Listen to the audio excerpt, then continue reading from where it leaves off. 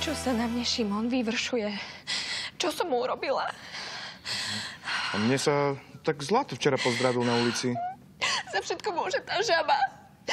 Ida mala pravdu. A ty si mi neverila. A Šimon má fóbiu na žaby? Alebo alergiu? Ale prosím ťa, hadam len, neveríš na tie žabacie povery. Všetko sa vysvetlí a zásnuby urobíme v náhradnom termíne. Ale ja nechcem náhradný termín. Ale- Radšej zrušme svadbu budem pokoj.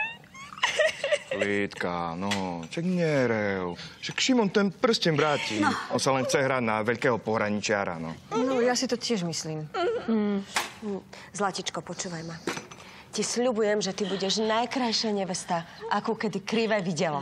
A aspoň si ten prsteň budeš viac vážiť, že si si ho musela tak vybojovať. A, čo keď ten prsteň z- zabaví? A, a už nám ho nevráti? Idem za ním a vysvetlím mu to. Nikam nepôjdeš. Ešte aby si sa aj ty do toho zaplietla. Ale ja si iba myslím, že na to určite má nejaký dôvod. Ako keby sa chcel pomstiť. Netreba nič zisťovať, ja už všetko viem. A za to, čo sa stalo, môžete poďakovať vášmu ockovi a Jergušovi. To bude ocko. Halo, Drahoš? To nemyslíš vážne? Čo je?